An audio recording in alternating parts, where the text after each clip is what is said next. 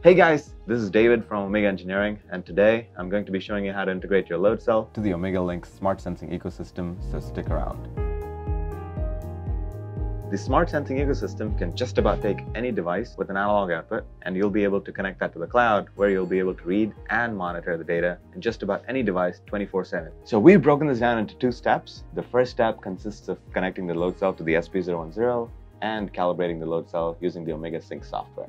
So for this setup, all you'll need is a load cell with ratiometric millivolt per volt output that is connected to a M12 receptacle, and the M12 receptacle plugs into the SP010 smart sensing interface, and the interface connects to the USB serial communication cable that plugs into your computer. So I have already wired the load cell to the M12 4-pin connector using the wiring diagram shown on the SP010 quick start guide. And now we can plug our load cell into our SP010 smart probe interface. Connect the other side of the SP010 to the IF001 USB serial communication cable and connect it to the USB port on your laptop. So let's launch the OmegaSync software.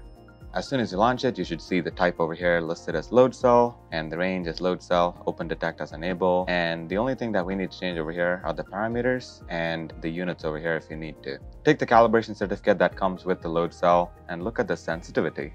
Now in this case, the sensitivity is 2.00, so I'm going to go ahead and change that to 2.00. Full scale is 1000 grams. Hit apply settings. Once you're done with the calibration, if you see a reading over here that is not zero, just hit the tare button over here to allow it to go back to zero grams. And now let's go ahead and apply some dead weight on the load cell to see if it's responding to the load. And that's it, folks. 150.0 grams. We have applied a small dead weight on the load cell, which means the load cell is responding to a weight that is being applied on the load cell. There you have it, folks. We've connected the load cell to the SP010 Smart Probe interface, and we've calibrated the load cell with the Sync software. So stay tuned for part two, where we will be completing the integration of the load cell into the Omega Link ecosystem.